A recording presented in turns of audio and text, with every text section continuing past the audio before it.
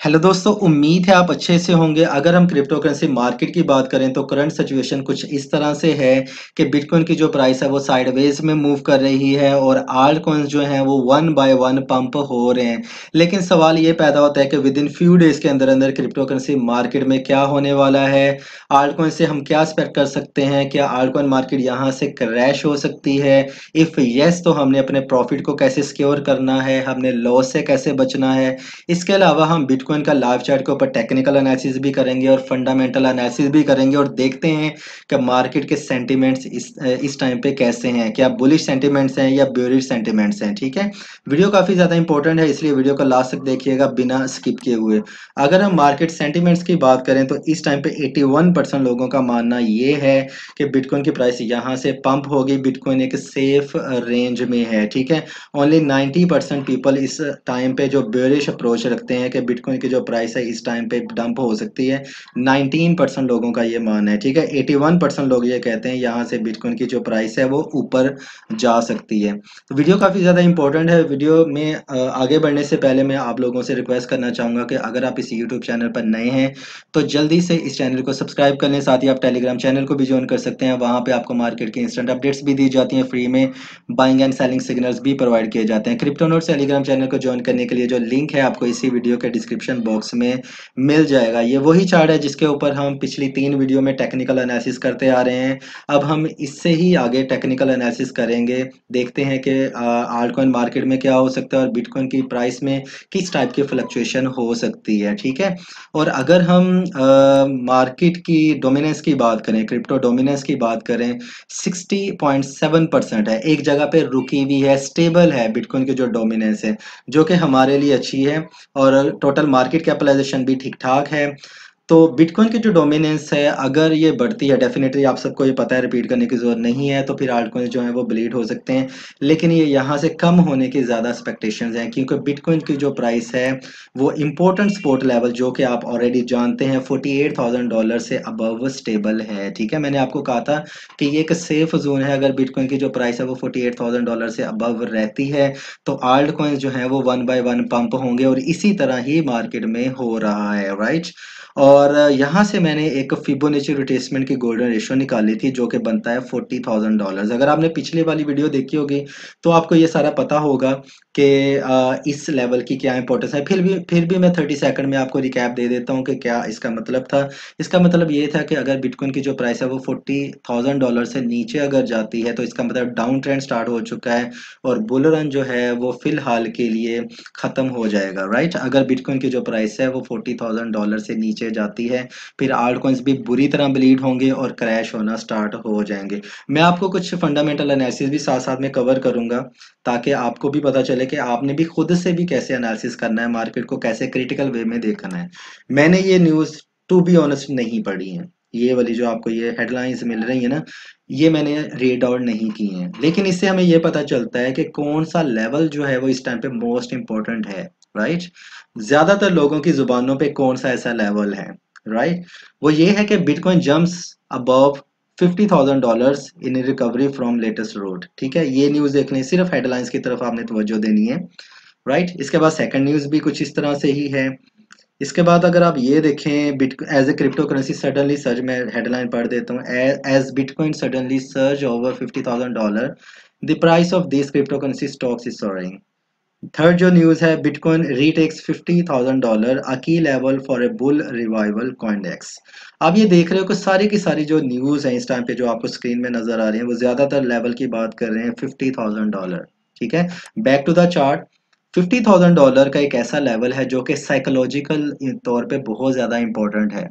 इससे ऊपर अगर मार्केट में अगर मार्केट रहती है, जैसे कि मैंने आपको कल टेलीग्राम चैनल पे भी बताया था कि बिटकॉइन की जो प्राइस है वो फिफ्टी थाउज़ेंड डॉलर से अबव मूव कर रही है तो आल्ट कॉइन जो है वो सेफ़ कंडीशन में शॉर्ट टर्म ट्रेड लें और प्रॉफिट लें एग्जिट करते जाएँ।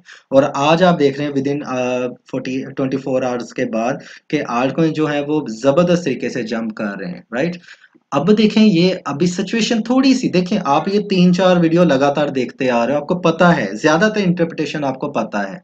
लेकिन इससे आगे ये रिमाइंडर होती हैं, इस टाइप की जो वीडियोस होती हैं, ताकि आपको जो एनालिसिस हैं वो क्लियर रहे, ठीक है माइंड में।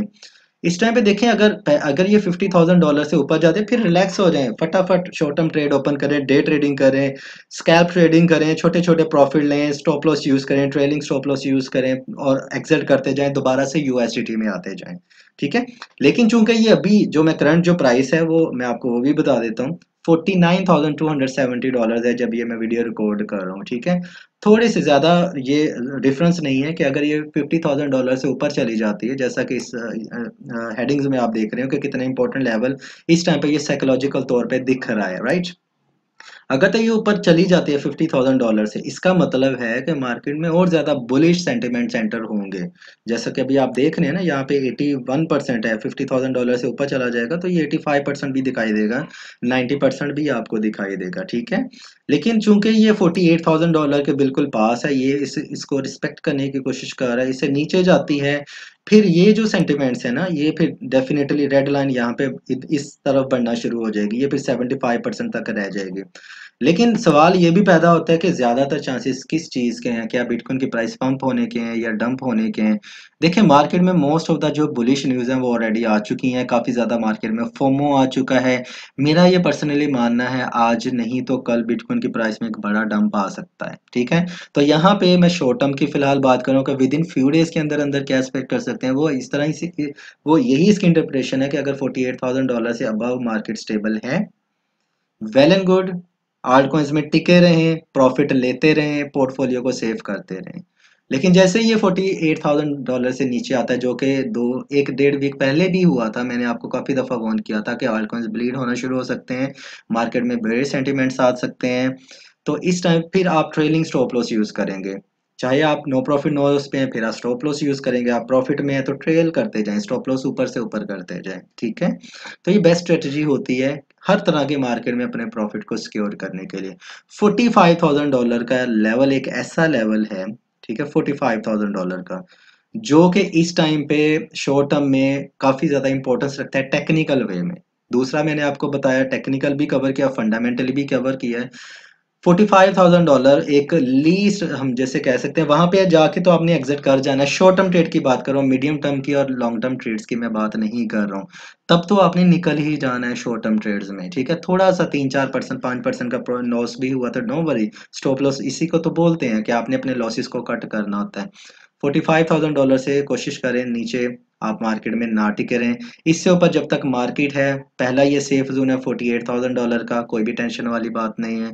फिफ्टी थाउज़ेंड डॉलर से ऊपर चले गया तो फिर तो ज़बरदस्त तरीके में बुलरन आएगा और और ज़्यादा मार्केट में हमें प्राइसेस जो हैं, उनमें इंक्रीमेंट देखने को मिलेगा। ठीक है? तो इस टाइम पे फ़िलहाल शॉर्ट टर्म में चूँकि ये फोर्टी एट थाउज़ेंड डॉलर से अबव है मार्केट के सेंटिमेंट्स भी बुलिश हैं टेक्निकली भी ठीक है।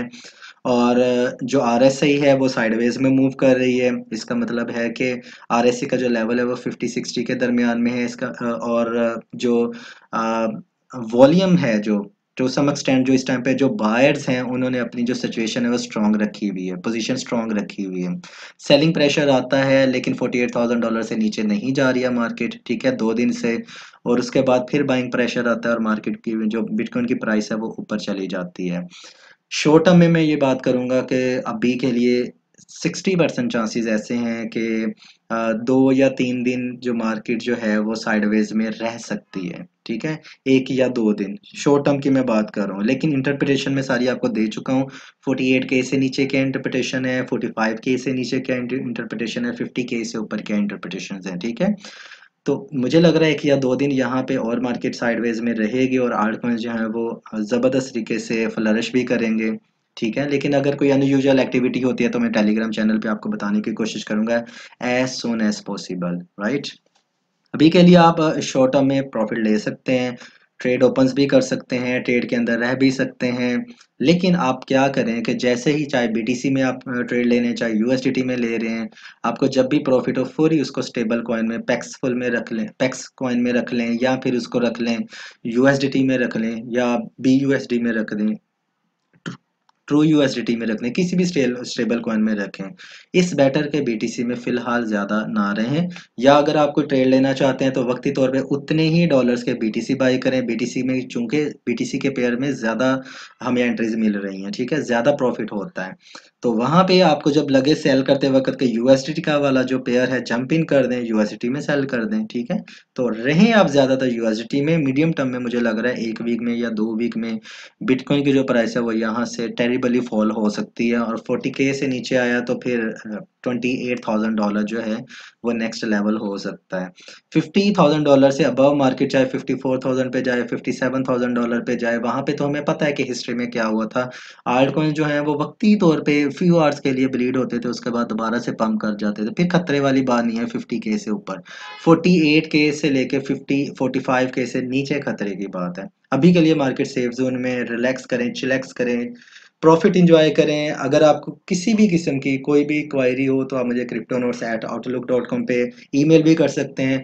कमेंट बॉक्स में बहुत सारे जो स्कैमर्स होते हैं मेरा नाम यूज़ करके कहते हैं जी व्हाट्सएप पे या टेलीग्राम पे पर्सनली कॉन्टैक्ट करें, उनसे हर हरगिज़ भी आप पर्सनली कॉन्टैक्ट ना करें, वो स्कैमर्स होते हैं।